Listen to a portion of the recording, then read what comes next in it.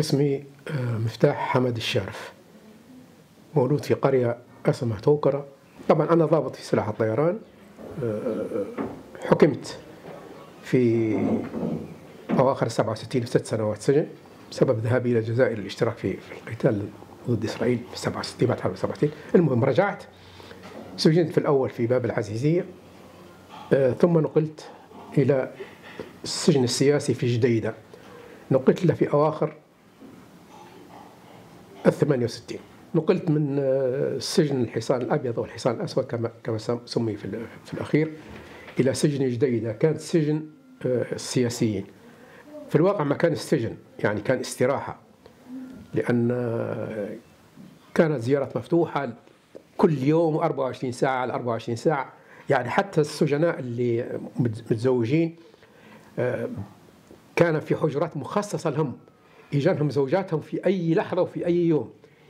خرجت من السجن في أوائل سبتمبر يمكن يوم 2 أو يوم 3 سبتمبر 69 ورجعت إلى سلاح الطيران. بقيت فيه ثلاث أشهر. قدمت استقالتي لكن رفضت من قبل آمر سلاح الطيران. كانت في طيارة جاية جديدة بتاعت VIP أنا كنت ناوي إني أترك سلاح الطيران ومن البداية قدمت استقالتي لآمر سلاح الطيران رفضت على أساس إني أنا نمشي للطيران المدني. الطيارة هذه اللي جابوها جت من أمريكا اسمها JetStar. ال instruments بتاعها كانت شبيهة بال instruments بتاع البوينج طيارات البوينج فجت رحلة المعمر لأول مرة يزور فيها مصر ويقابل فيها عبد الناصر.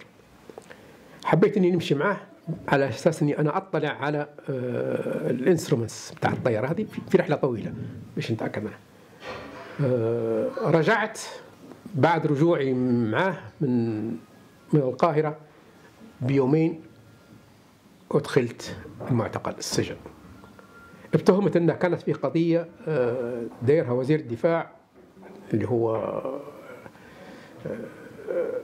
آدم الحواز في وزارة الدكتور محمود المغربي ووزير الداخلية اللي هو موسى أحمد.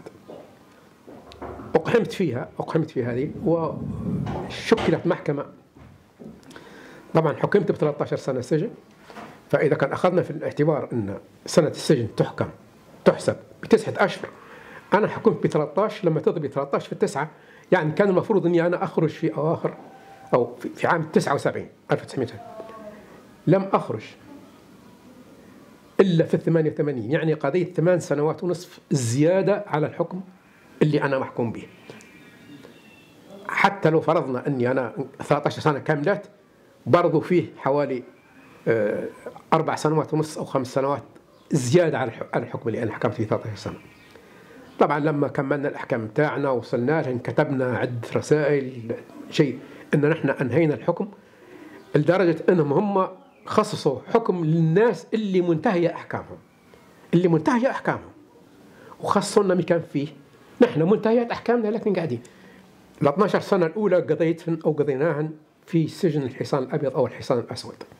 في البداية كانت المعاملة جيدة لمدة ثلاثة أربع سنوات وبعدين حاول واحد أنه يهرب قصيدة ما قصيدة ومش عارف إيه ضغط علينا سحبت منا الكتب كنا نطبخ سحبت منا كل هذه الأشياء وبقينا في ضغط.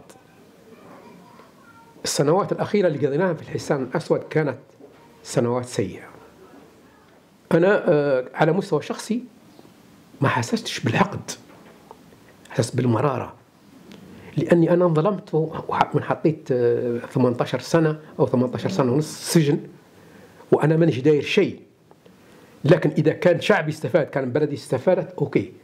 لكن للأسف لم نقهر نحن فقط اللي دخلنا السجن لكن قهر الشعب الليبي بالكامل. مرارة على على على الظلم الشخصي. وقهر أيضا وإحساس بال